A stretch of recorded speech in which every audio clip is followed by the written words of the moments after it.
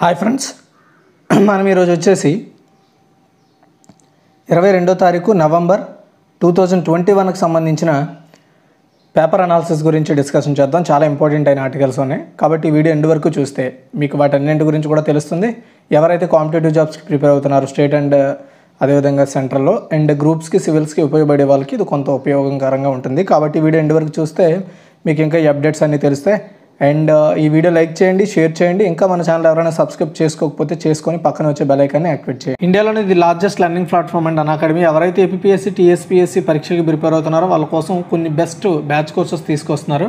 అదేవిధంగా వీళ్ళు limited period ఆఫర్తో నవంబర్ సిక్స్టీన్త్ నుండి సెవెంటీన్త్ వరకు కూడా పన్నెండు నెలల సబ్స్క్రిప్షన్ తీసుకుంటే టూ మంత్స్ సబ్స్క్రిప్షన్ ఫ్రీగా ప్రొవైడ్ చేయడం జరుగుతుంది. చాలా మంచి ఆఫర్ ఇది. వీళ్ళు కొన్ని బ్యాచ్ కోర్సులు తీసుకొస్తున్నారు. ఒకటి సాధన అనే పేరుతో గ్రూప్ వన్ గ్రూప్ టూకి ప్రిపేర్ అయ్యే కోసం మల్టీ చాయిస్ క్వశ్చన్స్ ద్వారా వీళ్ళు కోర్స్ ప్రొవైడ్ చేస్తున్నారు.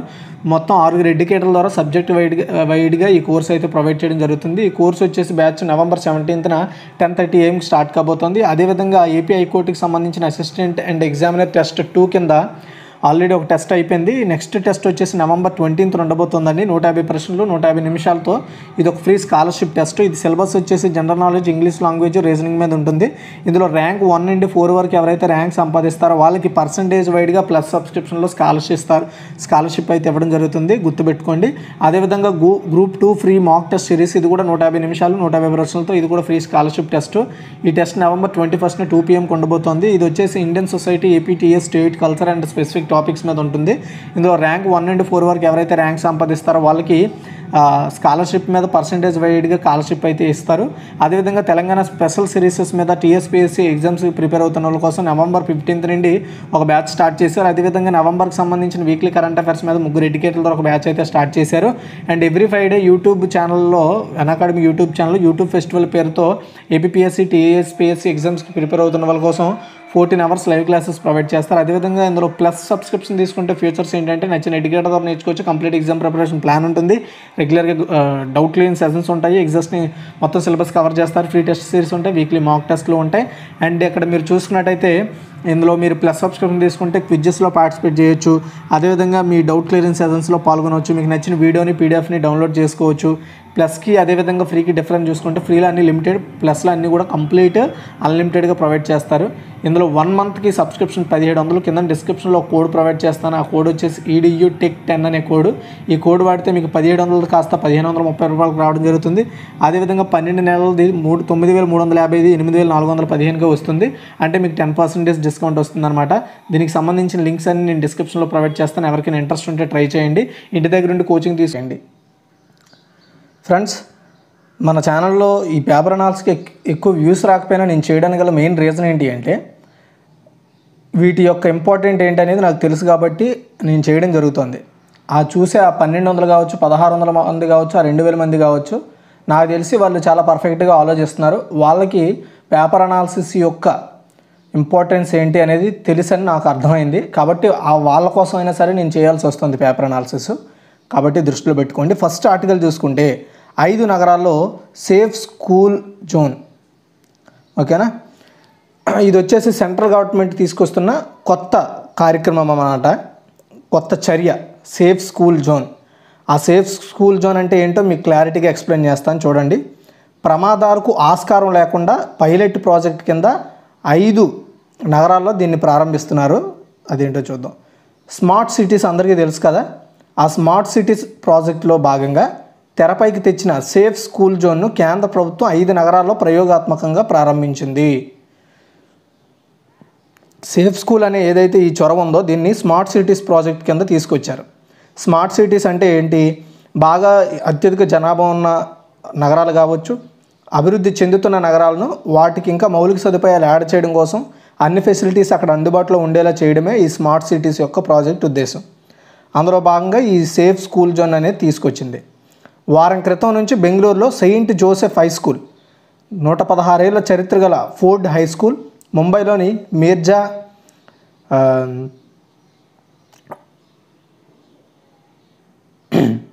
ముంబైలో ఉన్న మీర్జా గలీబ్ రోడ్లో Saint Agnes Christ church school and ఢిల్లీలోని NP boys senior secondary school పూణేలో రెండు గురుగ్రామ్లో ఒక స్కూల్ వద్ద ఈ పద్ధతిని ప్రవేశపెట్టారు. ఈ ఐదు చోట్ల వచ్చే ఫలితాలను బట్టి ఇతర నగరాల్లో కూడా ఈ జోన్లను విస్తరిస్తారు. అయితే దీని అర్థం ఏంటి? ఈ సేఫ్ జోన్ ఈ సేఫ్ స్కూల్ జోన్ యొక్క అర్థం ఏంటి అంటే ప్రస్తుతం హైవేలు కావచ్చు రద్దీ రహదారులు. ఈ రహదారులపై ఉండే స్కూల్లో ఉన్న చోట ముందు స్కూల్ ఉంది నెమ్మదిగా వెళ్ళండి అనే సైన్ బోర్డులు కనిపిస్తాయి. కదా? మనందరికీ తెలుసు. లేదంటే అక్కడ ఇటు సైడ్ స్కూల్ ఉంది కాబట్టి మెల్లిగా వాహనాలు నడపండి అని చెప్తా ఉంటారు. అవన్నీ సైన్ బోర్డులు మనం చూసే ఉంటాం. అయితే సేఫ్ స్కూల్ జోన్ అందుకు పూర్తి భిన్నం డిఫరెంట్. ఐరోపా దేశాలు అమెరికా ఫిలిప్పైన్స్ ఇండోనేషియా దక్షిణ కొరియాలో ఈ ప్రజెంట్ ఈ విధానం అమలవుతుంది. ఈ విధానంలో ప్రత్యేక రోడ్వేలు ఉంటాయి అవి స్కూల్ ప్రారంభానికి లేదా స్కూల్ సరిహద్దుకు మూడు వందల మీటర్ల దూరంలో స్టార్ట్ అవుతాయి. స్కూల్ దాటిన మూడు వందల మీటర్ల తర్వాత ముగుస్తాయి. అంటే స్కూల్కి ఇరువైపులా మూడు వందల మీటర్ల వరకు కూడా ఈ జోన్ అనేది నడుస్తుంది. స్కూల్ జోన్ ప్రారంభం ముగింపు పాయింట్లలో సంబంధిత సైన్ బోర్డులు కూడా ఉంటాయి. ప్రస్తుతం స్కూల్ ఉన్న చోట స్పీడ్ బ్రేకర్లు ఏర్పాటు చేసి వాహనాలు నెమ్మదిగా వెళ్ళేలా జాగ్రత్తలు తీసుకుంటున్నారు. సేఫ్ స్కూల్ జోన్లో వాహనాలకు పరిమితులు ఉంటాయి. వేగ నియంత్రణ చర్యలు ఉంటాయి. అదే సమయంలో పాదచారుల కోసం రోడ్డుపై ప్రత్యేక మార్గాలను ఏర్పాటు చేస్తారు. రోడ్ క్రాసింగ్ వద్ద జాగ్రత్తలు తీసుకుంటారు. విద్యార్థులను స్కూల్ వద్ద దిగబెట్టే వాహనాల కోసం ప్రత్యేకంగా డ్రాప్ అండ్ పికప్ పాయింట్లు కూడా ఉంటాయి. అయితే ప్రత్యేక జోన్ ఎందుకు? భారత్లో జరుగుతున్న రోడ్డు ప్రమాదాల్లో పద్నాలుగేళ్ళలోపు వారి మరణాలు ఎక్కువగా జరుగుతున్నాయి. రెండు వేల పదిహేడులో ఆరు పాయింట్ నాలుగు శాతం రెండు వేల పద్దెనిమిదిలో ఆరు పాయింట్ ఆరు శాతం రెండు వేల పంతొమ్మిదిలో ఏడు పాయింట్ నాలుగు శాతం మర మరణాల పెరుగుదల జరిగింది. యాక్సిడెంట్లు. ప్రతి నలభై ఐదు నిమిషాలకు ఒకరు చొప్పున రోజుకు ముప్పై ఒక్క మంది చిన్నారులు రోడ్డు ప్రమాదాల్లో చనిపోతున్నారు. ఇలాంటి టైంలో స్మార్ట్ సిటీ ప్రాజెక్టులో సేఫ్ స్కూల్ జోన్లు అనేవి తీసుకురావడం జరిగింది. ఓకేనా? ఇంతవరకు గుర్తుపెట్టుకోండి. చాలా ఇంపార్టెంట్ ఇది. అంటే నా ఉద్దేశం ఏంటి అంటే ఈ సేఫ్ స్కూల్ జోన్ల యొక్క ఉద్దేశం ఏంటంటే స్కూల్ ముప్పై మీటర్ల పరిధిలో స్కూల్కి ముప్పై మీటర్ల పరిధిలో ఉండే ఏవైతే స్కూల్కి రా- రావాల్సిన వేస్ ఏవైతే ఉంటాయో ఆ వేకి సంబంధించి కావచ్చు అండ్ ఆ వే నుండి ఆ మూడు వందల మీటర్ల గ్యాప్లో ఎవరైతే ట్రావెల్ చేస్తారో పబ్లిక్ ట్రావెల్స్ కానీ ఏవైనా సరే వాళ్ళకు కొన్ని నియంత్రణ ఉంటాయన్నమాట. కంట్రోల్ చేస్తారు వాళ్ళని. మీరు ఎంత స్పీడ్లోనే వెళ్ళాలి ఈ విధంగానే వెళ్ళాలి ఈ సైడ్ నుండే వెళ్ళాలి అనే కొన్ని సైన్ బోర్డులతో మీకు కనిపిస్తాయి.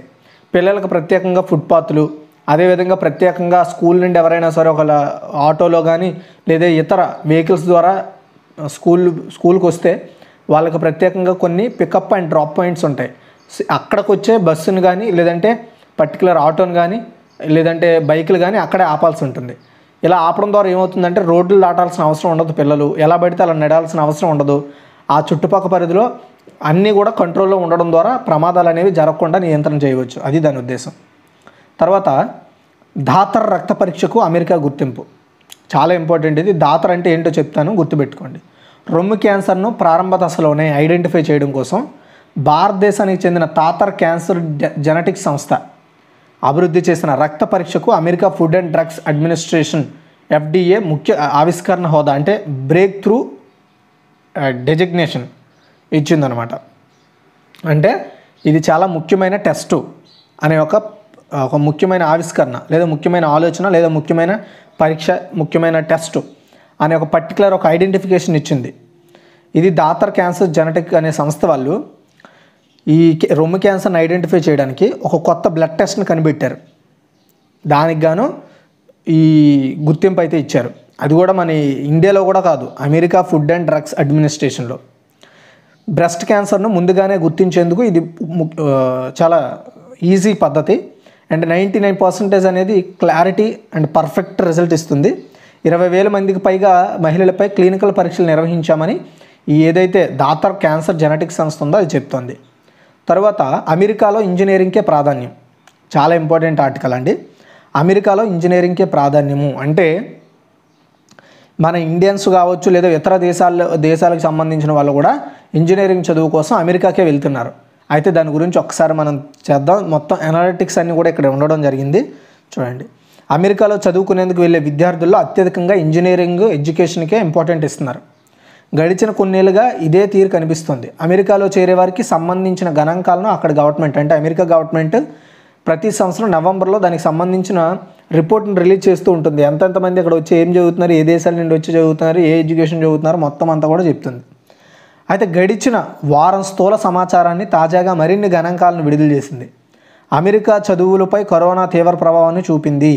ఈ కారణంగా అమెరికాలోని యూనివర్సిటీలను మూసివేయడంతో పాటు ఇంటర్నేషనల్ బోర్డర్స్లపై కూడా ఆంక్షలు విధించడంతో చదువుకునేందుకు వెళ్ళే ఎవరైతే యంగర్స్ ఉంటారో వాళ్ళు చాలా ఇబ్బందులు పడ్డారు. గత ఏడాదితో పోలిస్తే రెండు వేల ఇరవై ఇరవై ఒకటి విద్యా సంవత్సరాల్లో సుమారు పదిహేను శాతం మంది విద్యార్థులు తగ్గారు. రెండు వేల పంతొమ్మిది ఇరవైలో దేశంలో వివిధ ప్రాంతాల నుంచి లక్ష తొంభై మూడు వేల నూట ఇరవై నాలుగు మంది చేరితే ఈ రెండు వేల ఇరవై ఇరవై ఒకటి అకాడమిక్ ఇయర్లో ఆ సంఖ్య లక్ష అరవై ఏడు వేల ఐదు వందల ఎనభై రెండుకు తగ్గిందని చెప్తున్నారు. కదా? అంటే దగ్గరగా ఒక ఇరవై వేల మంది తగ్గిపోయారనమాట అమెరికాలో అత్యధికంగా కాలిఫోర్నియా స్టేట్లో చదువుకుంటున్నారంట ఎక్కువగా. రెండు వేల ఇరవై ఇరవై ఒకటి విద్యా సంవత్సరాల్లో పంతొమ్మిది వందల సారీ లక్ష ముప్పై రెండు వేల ఏడు వందల యాభై ఎనిమిది మంది ఇక్కడే ఉన్నారంట. గుర్తుపెట్టుకోవాలి చాలా ఇంపార్టెంట్. అంటే వాళ్ళు చెప్పిన ఏవైతే లక్ష అరవై ఏడు వేల మంది ఉన్నారో అందులో లక్ష ముప్పై రెండు వేల మంది కాలిఫోర్నియా స్టేట్లోనే చదువుకుంటున్నారు. అమెరికాలో అదొక స్టార్టర్ స్టేట్. రెండో స్థానంలో న్యూయార్క్ ఉంది. ఇక్కడ లక్ష ఆరు వేల ఎనిమిది వందల తొంభై నాలుగు మంది విద్యార్థులు ఉన్నట్లు తేలింది. తర్వాత స్థానంలో Texas and Massachusetts Illinois Pennsylvania Florida Ohio Michigan రాష్ట్రాలు ఉన్నాయి. అతి తక్కువగా ఇండియా రాష్ట్రంలో ఇండియానా రాష్ట్రంలో ఇరవై మూడు వేల తొమ్మిది వందల నలభై ఎనిమిది మంది మాత్రమే చదువుతున్నారు. అయితే యూనివర్సిటీల విషయానికి వస్తే న్యూయార్క్ యూనివర్సిటీలో పదిహేడు వేల యాభై మంది చేరారు. బాస్టన్లో నార్త్ ఈస్టర్న్ యూనివర్సిటీలో న్యూయార్క్లోని కొలంబియా యూనివర్సిటీలో and university of southern California Arizona state university ఇలా మరో పదిహేను యూనివర్సిటీల్లో బాగా ప్రాధాన్యం ఇస్తున్నారు. అతి తక్కువగా ఓహియో స్టేట్ యూనివర్సిటీలో ఆరు వేల ఆరు వందల అరవై ఐదు మంది మాత్రమే చేరారు. అది అక్కడ రిపోర్ట్. అయితే అమెరికాలో చదువుకునే అంతర్జాతీయ విద్యార్థులు ఇంజనీరింగ్ కోర్సుకు ప్రాధాన్యం ఇస్తున్నారు. ఇంజనీరింగ్లో కూడా లక్ష తొంభై వేల ఐదు వందల తొంభై మంది చేరారు. అందులో మ్యాథమెటిక్స్ కంప్యూటర్ సైన్స్ కోర్సులు ఉన్నాయి. వీటిలో లక్ష ఎనభై రెండు వేల నూట ఆరు మంది చేరారు. ఇక వీటి తరువాత బిజినెస్ మేనేజ్మెంటు సామా అంటే సోషల్ స్టడీస్ కావచ్చు ఫిజికల్ అండ్ లైఫ్ సైన్సెస్ కావచ్చు ఫైన్ అండ్ అప్లైడ్ ఆర్ట్స్ కావచ్చు అండ్ అదేవిధంగా హెల్త్కి సంబంధించిన హెల్త్ డిపార్ట్మెంట్కి సంబంధించిన చదువులు కావచ్చు కమ్యూనికేషన్ అండ్ జర్నలిజం కావచ్చు ఎడ్యుకేషన్ అండ్ ఎంట్రన్స్ ఇంగ్లీష్ కోర్సుల్లో చేరుతున్నట్లుగా చెప్తున్నారు. అమెరికాలో చదువుతున్న అంతర్జాతీయ విద్యార్థుల్లో భారతీయులు రెండో స్థానంలో ఉన్నారు. చైనా తొలి స్థానంలో ఉంది. చూసుకోండి. అమెరికాలో చదువుతున్న అంతర్జాతీయ విద్యార్థుల్లో భారతీయ భారతదేశ స్టూడెంట్లు రెండో స్థానంలో ఉంటే ఫస్ట్ ప్లేస్లో చైనా వాళ్ళే ఎక్కువగా అమెరికాలో చదువుతున్నారు. అది. అయితే రెండు వేల ఇరవై ఒకటి ఇరవై ఇరవై ఒకటవ సంవత్సరంలో అత్యధికంగా అరవై ఎనిమిది వేల ఎనిమిది వందల అరవై తొమ్మిది మంది గ్రాడ్యుయేట్లు కోర్సుల్లో చేరారు. అండర్ గ్రాడ్యుయేషన్లో ఇరవై మూడు వేల ఏడు వందల ముప్పై నాలుగు మంది డిగ్రీయేతర్లో లక్ష సారీ పదమూడు వందల డెబ్బై ఎనిమిది మంది చేరడం జరిగింది. గుర్తుపెట్టుకోండి. అయితే రెండు వేల ఇరవై ఇరవై ఒకటిలో డెబ్బై మూడు వేల ఆరు వందల ఒక్క మంది ఓటీపీ పథకం కింద ఉద్యోగాలు ఉద్యోగాలు చేస్తున్నారు. అది. ఇంక ఎనాలిటిక్స్ అంతా కూడా మనకు అనవసరం ఎందుకంటే నేను ఆల్రెడీ చెప్పేశాను. అమెరికాలో చదువుతున్న భారతీయ విద్యార్థులు చూసుకుంటే చూసుకుంటే ఎంత పర్సంటేజ్ ఉందో చూసుకోవచ్చు. అంటే తొమ్మిది లక్షల్లో దగ్గరగా లక్ష యాభై వేల మంది మన ఇండియన్సే ఉంటున్నారు. అదే రెండు వేల పంతొమ్మిది ఇరవైలో చూసుకుంటే సేమ్ సగం మంది. పది లక్షల్లో దగ్గరగా రెండు లక్షల మంది మన ఇండియన్సే. తర్వాత రెండు వేల పద్దెనిమిది పంతొమ్మిదిలో పది లక్షల్లో రెండు లక్షల మంది మన విద్యార్థులే. నెక్స్ట్ రెండు వేల పదిహేడులో పద్దెనిమిదవ సంవత్సరంలో పది లక్షల మందిలో దగ్గరగా రెండు లక్షల మంది మన విద్యార్థులే. అదేవిధంగా రెండు వేల పదహారు పదిహేడులో పది లక్షల స్టూడెంట్స్లో లక్ష ఎనభై ఆరు వేల మంది మన స్టూడెంట్లే ఉన్నారు. అయితే మిగతా వారందరూ చూసుకుంటే ఇవంతా కూడా అంతర్జాతీయంగా చేరుతున్న వాళ్ళ సంఖ్య. పది లక్షల మంది పది లక్షల మంది అమెరికాలో చదువుతున్నారు మొత్తం విదేశాల నుండి చూసుకుంటే. ఒక్క మనీ ఇండియా నుండి చూసుకుంటే రెండు లక్షల గ్రాఫ్లో జాయిన్ అవుతున్నారంటే అర్థం చేసుకోండి. మన ఇండియా నుండి టూ ల్యాక్ మెంబర్స్ వెళ్ళి అక్కడ చదువుతున్నారంటే అదేం చిన్న విషయం కాదు. నెక్స్ట్ హామిల్టన్ ఖాతాలో ఖతర్ జీపీ. ప్రపంచ నెంబర్ వన్ లూయిస్ హామిల్టన్ ఖాతాలో మరో టైటిల్ చేరింది. ఈ Mercedes racer Mercedes racer Qatar grand prix టైటిల్ను కైవసం చేసుకున్నాడు. జీపీ అంటే గ్రాండ్ గ్రాండ్ ప్రీ. ఆదివారం జరిగిన తుది రేసులో ఈ బ్రిటిష్ డ్రైవర్ ఇరవై ఐదు పాయింట్లతో అగ్రస్థానంలో నిలిచాడు. వెర్స్టాపెన్ పంతొమ్మిది పాయింట్లతో సెకండ్ ప్లేస్లో ఆ అలెన్సో పదిహేను పాయింట్లతో మూడో స్థానంలో ఉన్నారు. ఇటీవల బ్రెజిలియన్ గ్రాండ్ ప్రీ గెలుచుకున్న హామిల్టన్ మూడు వందల నలభై మూడు పాయింట్ ఐదు వరుసగా రెండో టైటిల్ను ఫార్ములా వన్ ఛాంపియన్షిప్లో అగ్రస్థానంలో ఉన్న వెర్స్టాపెన్ మూడు వందల యాభై ఒకటి పాయింట్ ఐదును మరింత దగ్గరగా చేరుకున్నాడని చెప్పొచ్చు. ఓకే మనం ఇక్కడ వరకు గుర్తుపెట్టుకోవాలి. ఏంటి? ఖత్తర్ గ్రాండ్ ప్రీ టైటిల్ విజేత ఎవరు? రెండు వేల ఇరవై ఒకటిలో. So Lewis Hamilton. ఓకే? అతను ప్రపంచ నెంబర్ వన్ అంటాం. తర్వాత ఐసీసీ పూర్తి స్థాయి సీఈఓగా అలరైడెస్. ఇక్కడ కనబడుతున్న వ్యక్తే అలరైడెస్. ఐసీసీ పూర్తి స్థాయి సీఈఓగా అంటే పర్మనెంట్ సీఈఓగా చీఫ్ ఎగ్జిక్యూటివ్ ఆఫీసర్గా జెఫ్ అలాడైస్ అంటే ఆస్ట్రేలియాకు చెందిన వ్యక్తి నియమితులు కావడం జరిగింది. ఎనిమిది నెలలకు పైగా టెంపరీ సీఈఓగా పనిచేస్తున్న అలాడైస్కు ఐసీసీ పాలక మండలి. అంటే ఇంటర్నేషనల్ క్రికెట్ కౌన్సిల్ ఆదివారం పూర్తిస్థాయి బాధ్యతలు ఇచ్చింది ఆయనకి. కఠిన సవాళ్ళు నడుమ టీ ట్వంటీ ప్రపంచ కప్ను సక్సెస్ఫుల్గా నిర్వహించడంపై అలాటైస్కు మంచి పేరు వచ్చింది. సో ఆస్ట్రేలియా ఫస్ట్ క్లాస్ క్రికెటర్గా కెరీర్ మొదలుపెట్టిన అలాటైస్ అన అనంతరం క్రికెట్ ఆస్ట్రేలియాకు పరిపాలకుడిగా వ్యవహరించాడు. ఎనిమిదేళ్ళ పాటు ఐసీసీ జనరల్ మేనేజర్గా పనిచేశాడు. మొత్తానికి ఇప్పుడు ఐసీసీ సీఈఓగా పర్మనెంట్ సీఈఓగా జాయిన్ అయ్యారు. అంటే అతను పదవ కాలం వరకు కూడా ఆయన ఆ పదవిలో కొనసాగుతారు. మధ్యలో తీయడానికి ఇది ఇది ఏముండదు. అది. తరువాత గ్రామీణ భారతానికి రక్షిత తాగునీరు కేంద్రం అంటే సెంట్రల్ గవర్నమెంట్. చాలా ఇంపార్టెంట్ గ్రామీణ భారతంలో అంటే గ్రా భారతదేశంలో గ్రామీణ ప్రాంతాల్లో సురక్షిత తాగునీటి వసతి ఇటీవల ఎక్కువగా పెరిగిందని చెప్పొచ్చు. అర్సనిక్ ఫ్లోరైడ్ ప్రభావంతో ఇబ్బంది పడుతున్న ఇరవై ఏడు వేల ఐదు వందల నలభై నాలుగు గ్రామీణ నివాస ప్రాంతాలకు రెండు వేల ఇరవై ఒకటి మార్చి కల్లా తాగునీటిని అందించాలన్న లక్ష్యంతో రెండు వేల పదిహేడు మార్చిలో జాతీయ నీటి నాణ్యత సబ్మిషన్ దీన్ని ఎన్డబ్ల్యూక్యూఎస్ఎం అంటారు. అంటే జాతీయంగా నీటి నాణ్యతకి సంబంధించి సబ్మిషన్ అనమాట అంటే నీటిని నాణ్యతగా అందించడానికి సంబంధించిన మిషన్. దీన్ని ప్రారంభించింది రెండు వేల పదిహేడులో సెంట్రల్ గవర్నమెంట్. ఈ మిషన్ కింద పద్దెనిమిది వేల ఏడు వందల ఎనభై నాలుగు గ్రామీణ నివాస ప్రాంతాలకు తాగునీరు అందుబాటులోకి వచ్చిందని జలశక్తి శాఖ తాజాగా చెప్పింది. ఇరవై ఏడు గ్రామాల్లో దగ్గరగా పద్దెనిమిది వేల మందికి పద్దెనిమిది వేల గ్రామాలకి ఈ కనెక్షన్ ఈ సబ్మిషన్ కింద లబ్ధి చేకూర్చారు. చాలా మంచి విషయం. సో ప్రస్తుతం ఎన్డబ్ల్యూక్యూఎస్ఎంను జల్ జీవన్ మిషన్లో విలీనం చేసినట్లు చెప్తున్నారు. అంటే మంచినీటిని అందించాలి. తాగునీరుతో పాటు క్లోరైడు అదేవిధంగా సదే ఆర్సెనిక్ ఫ్లోరైడ్ ఇలాంటి ప్రభావం లేని వాటర్ని అందించడం ఇంకొక ఎత్తు. మంచినీటి అందించడం ఒక వ్యక్తి అయితే ఇలాంటి సురక్షిత నీటిని అందించడం ఇంకొక వ్యక్తి. దాన్ని జాతీయ నీటి నాణ్యత సబ్మిషన్ అంటారు.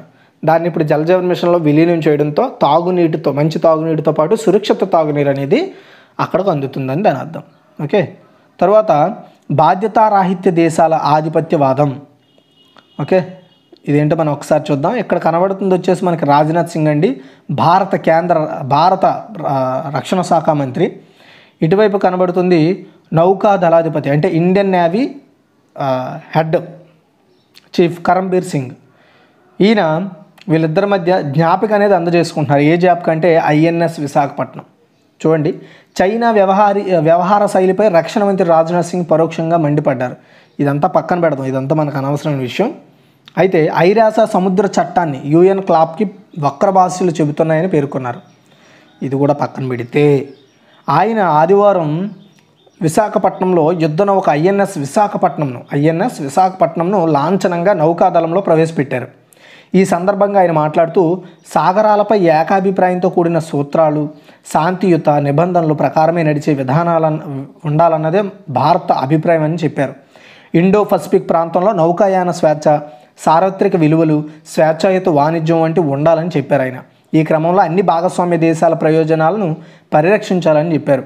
ఇండో పసిఫిక్ ప్రాంతం ప్రపంచం మొత్తానికి చాలా కీలకమని రాజ్నాథ్ సింగ్ చెప్పారు. భారత నౌకా నిర్మాణ హబ్గా మార్చాలని కోరారు. హిందూ మహాసముద్ర ప్రాంతంలో మారుతున్న పరిస్థితుల నేపథ్యంలో అండ్ ఐఎన్ఎస్ విశాఖపట్నం భారత నౌకాదళ పోరాట సామర్థ్యాన్ని ఇంకా పెంచుతుందని ఆయన చెప్పారనమాట ఐఎన్ఎస్ విశాఖపట్నం అనేది యుద్ధాలు జరిగేటప్పుడు వాడడానికి ఇది ఒక యుద్ధ నౌక. తాజా నేవీలో చేరిన ఐఎన్ఎస్ విశాఖపట్నం యుద్ధ నౌకను స్వదేశీ పరిజ్ఞానంతో తయారు చేశారు. ఇది స్టెల్త్ గైడెడ్ మిసైల్ డిస్ట్రాయిడ్ నౌక. నౌకాదళానికి చెందిన డైరెక్టర్ ఆఫ్ నేవల్ డిజైన్ సంస్థ దీన్ని రూపొందించింది. ముంబైలో మజ్గావ్ డాక్ సంస్థ వాళ్ళు దీన్ని తయారు చేశారు. అంటే డిజైన్ ఒకరిది డెవలప్మెంట్ ఒకరిది. శత్రువుల పీచమనిచ్చే శక్తివంతమైన ఆయుధాలను సెన్సార్లు ఇందులో ఉన్నాయి. ఉపరితల గాలుల్లో లక్ష్యాలను ఛేదించగల సూపర్ సోనిక్ క్షిపణులు మధ్య స్వల్ప శ్రేణి తుపాకులు జలంతర్గామి విధ్వంసక రాకెట్లు అధునాతన ఎలక్ట్రానిక్ యుద్ధ అండ్ కమ్యూనికేషన్ వ్యవస్థలు ఇందులో ఉన్నాయి. అయితే దీని గురించి ఇంకొంచెం తెలుసుకుందాం. ఆల్రెడీ నేను ఈ ఐఎన్ఎస్ విశాఖపట్నంకి సంబంధించి పేపర్ అనాలిసిస్లోనే చాలా పెద్ద ఆర్టికల్ ఎక్స్ప్లెయిన్ చేశాను. బట్ ఇంకోసారి మీకు రిమెంబర్గా ఉంటుందని చెప్తున్నాను చూడండి. ఈ నౌక పొడవు నూట అరవై మూడు మీటర్లు కాగా వెడల్పు వచ్చేసి పదిహేడు మీటర్లు. బరువు ఏడు వేల నాలుగు వందల టన్నులు. నాలుగు శక్తివంతమైన గ్యాస్ టర్బైన్లు సాయంతో ఈ యుద్ధ నౌక ట్రావెల్ చేస్తుంది. గరిష్టంగా ముప్పై నాట్లకు మించిన వేగంతో పయనించగలదు. ఇందులో ఆధునిక నిఘా రాడర్ ఉంది. ఇది లక్ష్యాన్ని సంబంధించి డేటాను నౌకలోని తుపాకులకు అందిస్తుంది. శత్రు జలంతర్గాములు వేట కోసం స్వదేశీ పరిజ్ఞానంతో రూపొందించిన రాకెట్. టోర్బిడో లాంచర్లు ప్రత్యేక హెలికాప్టర్లు ఉన్నాయి. అణు జీవ రసాయన యుద్ధ పరిస్థితుల్లోనూ పోరాటం చేయగలిగే దీన్ని తెచ్చి- అంటే అలా చేయగలిగేలా దీన్ని డెవలప్ చేశారు. విస్తృత స్థాయిలో ఆటోమేషన్ అధునాతన డిజిటల్ నెట్వర్క్ పోరాట నిర్వహణ వ్యవస్థలు సమీకృత నిర్వహణ వ్యవస్థలు దీని సొంతం. ప్రాజెక్ట్ ఫిఫ్టీన్ బి కింద ముప్పై ఐదు వేల కోట్లతో నిర్మిస్తున్న నాలుగు యుద్ధ నౌకల్లో ఐఎన్ఎస్ విశాఖపట్నం కూడా ఒకటి. అండ్ నెక్స్ట్ రెండో షిప్ రెండు వేల ఇరవై మూడులో మిగతా రెండింటిది రెండు వేల ఇరవై ఐదులో ప్రవేశపెడతారు. గుర్తుపెట్టుకోవాలి చాలా ఇంపార్టెంట్. తర్వాత ఎడిటోర్లు అండి. చారిత్రక సంపదకు నిర్లక్ష్యం చెద చెదలు. అంటే మనందరికీ తెలుసు చారిత్రక సంపద అంటే ఏంటి? ఎప్పుడో పూర్వం రాజులు కట్టిన కొన్ని నిర్మాణాలు కావచ్చు ఎప్పటి నుండో సో కాపాడుకుంటూ వస్తున్న కొన్ని ప్రకృతి నిర్మాణాలు కావచ్చు ఇవన్నీ కూడా మనకి చారిత్రక సంపద మన భారతదేశానికి. మన భారతదేశానికే కాదు ఏ దేశంలోనైనా వాళ్ళకి ఆ పూర్వీకులు కావచ్చు ఆ పూర్వీకులు కావచ్చు లేదా ప్రత్యు ప్రత్యే ప్రకృతి సిద్ధంగా ఏర్పడిన కొన్ని నిర్మాణాలు కావచ్చు అవన్నీ కూడా ఆ దేశాలకి ఇవి చాలా ముఖ్యమైన సంపద కిందే చెప్పుకోవాలి. ఎందుకంటే ఇవన్నీ కూడా మన చరిత్రను మన ప్రాంత చరిత్రని తెలియజేస్తాయి. మన పుట్టుకుని తెలియజేస్తాయి. మన వంశపారపర్యాన్ని తెలియజేస్తాయి. సరే? ఏటోలు చూసుకుంటే భిన్నత్వంలో ఏకత్వాన్ని ప్రపంచానికి చాటుతున్న భారతదేశం ప్రాచీన సంస్కృతి సాంప్రదాయాలు చారిత్రక వారసత్వ కట్టడాలకు నిలయం. అపురూపమైన శిల్ప సంపద మన ఇండియాలో ఉందంటే ఎవ్వరు అంటే నమ్మకూడదు అనడానికి ఇంకేం లేదు. మనం చాలా కట్టడాలు చూస్తున్నాం చాలా కట్టడాలు మనం వెళ్ళపోయినా ఇప్పుడు లైక్ యూట్యూబ్ ఇలాంటి ఆన్లైన్ ప్లాట్ఫామ్స్ ద్వారా మనం చాలా ప్రదేశాలను తెలుసుకోగలుగుతున్నాం. అయితే ఇలాంటి చాలా సంపద మన ఇండియాలో ఉంది. అలనాటి పాలకులు కళా పోషకులు ఎంతో మక్కువతో సంవత్సరాల తరబడి శ్రమించి వాటిని నిర్మించారు. ఆ అపురూప వారసత్వ కానుకలను కాపాడుకోవాల్సిన పూర్తి బాధ్యత ఇప్పుడున్న పాలకులదే కాదు దేశ పౌరులది కూడా అని చెప్పడానికి ఎలాంటి అతిశయోక్తి లేదు. వాటి తగిన ప్రాధాన్యం దక్కకపోవడంతో ప్రజెంట్ తరాలు దూరం ప్రజెంట్ తరాలకు రాయో రాబోయే తరాలకు అవి మాయమైపోయే అవకాశాలు ఉన్నాయి. చారిత్రక కట్టడాలు ప్రదేశాల ప్రాముఖ్యాన్ని వివరించేందుకు నవంబర్ పంతొమ్మిది ఇరవై ఐదు వరకు కూడా ప్రపంచ వారసత్వ వారోత్సవాలు యునెస్కో నిర్వహిస్తోంది. ఇప్పటి వరకు యునెస్కో గుర్తింపు పొందిన కట్టడ కట్టడాలు సహజ వింతలు దేశీయంగా నలభై దాకా ఉన్నాయి. అంటే మన ఇండియాలో నలభై ఉన్నాయి. అంటే యునెస్కో గుర్తింపు గుర్తింపు ఇచ్చిన ప్రాంతాలు. వాటిలో తెలుగు రాష్ట్రాల నుంచి తెలంగాణలో ములుగు జిల్లా పాలంపేటలో రామప్ప ఆలయం దీనికి రీసెంట్గానే యునెస్కో జాబితాలో చేర్చారు. కాకతీయ సోమంతరాజు రేచర్ల రుద్రుడి హయాంలో పదమూడవ శతాబ్దంలో ఈ రామప్ప ఆలయాన్ని నిర్మించడం జరిగిందండి. దీనిని ఈ సంవత్సరమే జులైలో ప్రపంచ వారసత్వ హోదా కూడా ఇచ్చింది యునెస్కో. వచ్చిన గుర్తింపు నిలబెట్టుకోవడం ప్రస్తుతం ప్రధాన అంశం కదా? అది. యునెస్కో కొన్ని షరతులు విధించిన తరువాతే వారసత్వ హోదా ఇస్తుంది. ఈ క్రమంలో రామప్ప ఆలయంలో రెండు వేల ఇరవై రెండు డిసెంబర్ ఒకటి నాటికి పూర్తి చేయవలసిన పనులెన్నో ఉన్నాయి. గుర్తింపు దక్కి నాలుగు నెలలు గడుస్తున్న నిర్దేశిత అభివృద్ధి పనులు ఇంకా అక్కడ స్టార్ట్ అవ్వాల. ప్రధాన ఆలయానికి గుడి భాగంలో శిథిలమైన కామేశ్వర ఆలయంతో పాటు త్రికూటాలయం గొల్లగుడి శివాలయం చెరువు కట్ట మీద ఉన్న మరో రెండు కోవెలను పునరుద్ధరించాలి. అది యునెస్కో పెట్టిన రూలు. మౌలిక వసతులు కల్పించాలి. ఉద్యానవనాలు విద్యుత్ పాలతో విద్యుత్ దీపాలతో సుందరీకరణ చేపట్టాలి. ఈ పనులన్నీ సుమారు అరవై నుండి డెబ్బై కోట్ల వరకు అవసరం అవుతాయని కేంద్ర పురావస్తు శాఖ అంచనేసింది. రాష్ట్ర ప్రభుత్వం ఆలయ పరిసరాల్లోని రహదారులను అభివృద్ధి చేసి మెరుగైన రవాణా సౌకర్యం కల్పించాలి. పర్యాటక అభివృద్ధికి ఊతమిచ్చేందుకు ప్రత్యేక ప్రణాళికను సైతం కేంద్ర రాష్ట్ర ప్రభుత్వాలు కలిసి పనిచేయాల్సి ఉంటుంది వీటి మీద. అప్పుడే వారసత్వ హోదా పదిలంగా ఉంటుంది. ఎందుకంటే వారసత్వాన్ని మళ్ళీ రీబ్యాక్ చేసి క్యాన్సిల్ చేసే అధికారం యునెస్కోకి ఉంటుంది.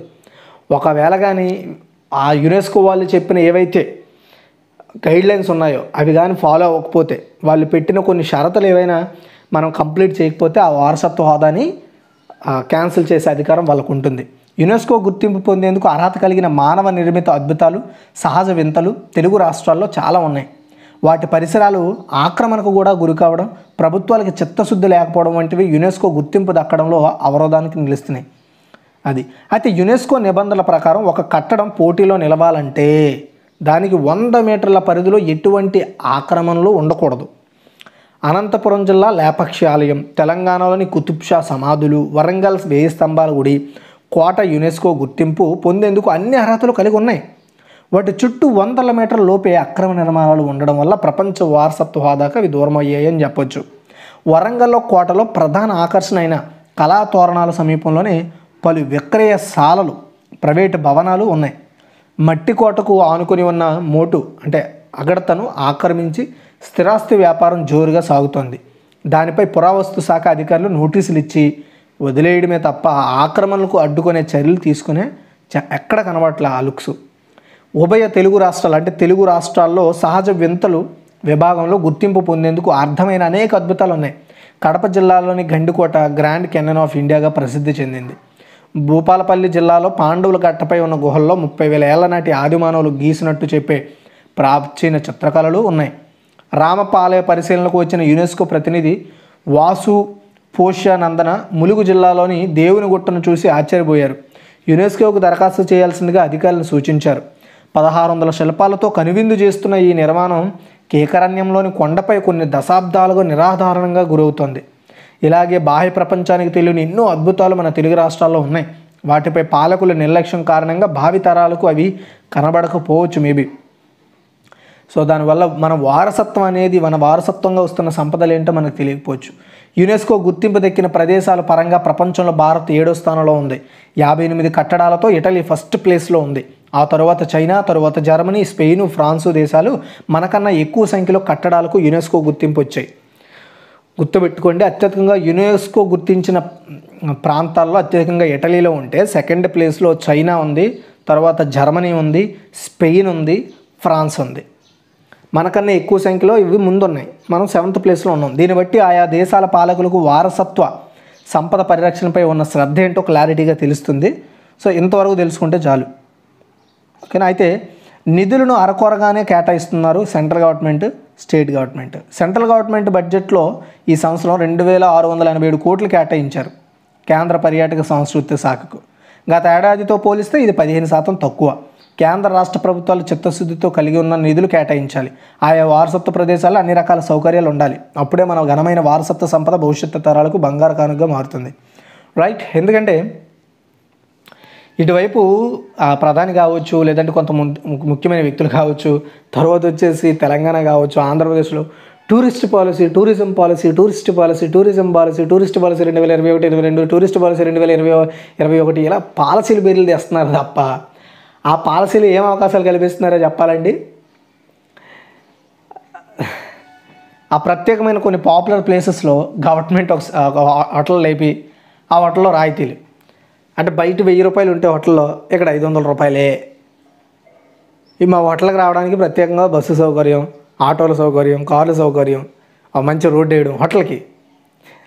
కానీ మెయిన్ మనం వెళ్ళాల్సిన డెస్టినీకి మాత్రం సరైన రోడ్లు ఉండవు సరైన దారి ఉండదు సరైన బోర్డులు ఉండవు సరిగా ప్లేస్ ఉండదు. ఇదనమాట పరిస్థితి. అవి అంటే పాలసీలు తీ వాళ్ళు టూరిస్ట్ పాలసీలు దేనికి తీసుకొస్తున్నారంటే ఎవడైనా బిజినెస్ పెడదామంటే వాడికి సపోర్ట్ ఇవ్వడం కోసం. మంచిదే. అలా సెల్ఫ్ ఎంప్లాయ్మెంట్ పెంచాలి. కానీ సెల్ఫ్ ఎంప్లాయ్మెంట్ పెరగాలంటే ముందు ఎవడైనా ఆడి దగ్గరికి వచ్చి వ్యాపారం చేయాలంటే ఆడు ఎందుకు అక్కడికి వస్తున్నాడో ఆ ప్లేస్ అనేది అందంగా ఉండాలి కదా. అది తప్ప అన్నీ జరుగుతున్నాయి అనమాట మన తెలుగు రాష్ట్రాల్లో. కేంద్ర ప్రభుత్వం కూడా అలా అలాగైనా బిహేవ్ చేస్తుంది. అనేది ఈ ఎడిటోర్ల వాళ్ళు చెప్తున్నారు. నేను చెప్పేది కాదు. ఈ ఎడిటోర్ల వాళ్ళు ఇండైరెక్ట్గా చెప్తున్నారనమాట అభివృద్ధి చేయండి. అప్పుడు హోటల్ కట్టుకుంటారో ఇంకేదైనా కట్టుకుంటారో ముందు విజిటర్స్ వస్తాను కదా మీకు డబ్బులు వస్తాయి. విజిటర్లు రాకుండా అక్కడ హోటల్ ఎందుకు వేస్ట్ ఎవడో ఇబ్బంది పడి వస్తాడు. చిచ్చి అని తిట్టుకొని మరీ వెళ్తాడు ఆ రోడ్లో ఆ గతకల గతకల రోడ్లో. అక్కడ తీర వెళ్ళిన తర్వాత అది కూర్చోడానికి లేదు ఇక్కడ తినడానికి ఏమీ లేదు వాటర్ కూడా దొరకట్లేదు రోడ్ సరిగా లేదు ఈ లోపల కూడా సరిగా లేదు ఇది తిట్టుకుంటాడనమాట కాబట్టి ప్రభుత్వాలు మన వారసత్వాన్ని కాపాడుకోవాలి. మనం ఎందుకు ఏడో స్థానంలో ఉన్నాం? ఎందుకు ఫస్ట్ ఎట్లే ఉంది? ఎందుకు తర్వాత చైనా ఉంది? ఇవన్నీ కూడా మనం గుర్తుపెట్టుకోవాల్సిన అవసరం ఉంది. అప్పుడు అలా గుర్తుపెట్టుకున్నప్పుడే మనము మన యొక్క వారసత్వ సంపదని కాపాడుకున్నట్టు అవుతుంది. మరి గుర్తుపెట్టుకోవాలి కదా ఎట్లా ఎందుకు ఫస్ట్ ప్లేస్లో ఉంది లేదా చైనా ఎందుకు సెకండ్ ప్లేస్లో ఉంది జర్మనీ ఎందుకు థర్డ్ ప్లేస్లో ఉంది అండ్ ఫోర్త్ ప్లేస్లో స్పెయిన్ ఎందుకు ఉంది ఫ్రాన్స్ ఎందుకు ఫిఫ్త్ ప్లేస్లో ఉంది మనం ఎందుకు సెవెంత్ ప్లేస్లో ఉన్నాము అని ఒకసారి కంపారిజన్ చేసుకోవాలి. ఏమనంటే మనము ఆ సోర్సెస్లో ఈ సోర్సెస్లో ఆ రాష్ట్రానికంటే ముందున్నాం ఈ రాష్ట్రానికంటే ముందున్నాం అని చెప్పుకుంటున్నాం కానీ టూరిజం తీసుకురండి. టూరిజం బాగా డెవలప్ చేస్తే విదేశాల నుండి వచ్చే వాళ్ళు ఎక్కువ అవుతారు. దాని తర్వాత మనకి ట్యాక్స్ పేయర్స్ ఎక్కువ అవుతారు అనమాట ట్యాక్స్ పెరుగుతుంది. ఎందుకంటే వాళ్ళ అమెరికన్ డాలర్ వాళ్ళ డాలర్స్ని కావచ్చు వేరే వాళ్ళ మనీని మన ఇండియన్ కరెన్సీలకు మార్చినప్పుడు మనకు ట్యాక్స్ ఉంటుంది. అదేవిధంగా వాళ్ళు ఎక్కడ పడితే అక్కడ తిరుగుతూ ఉంటారు. దానివల్ల ఏమవుతుంది? ఆటో వాళ్ళకి రిక్షా వాళ్ళకి ట్యాక్సీ వాళ్ళకి అదేవిధంగా public vehicles and private transport అన్నింటికి కూడా డబ్బులు వస్తాయి. కాబట్టి ప్రోత్సాహం అనేది ఆ విధంగా చేయండి. మీకు ఈ వీడియో అర్థమైంది అనుకుంటున్నాను. నచ్చితే లైక్ చేసి షేర్ చేసి మరిన్ని అప్డేట్స్ కోసం మన channel follow అవుతుండండి. Thanks for watching guys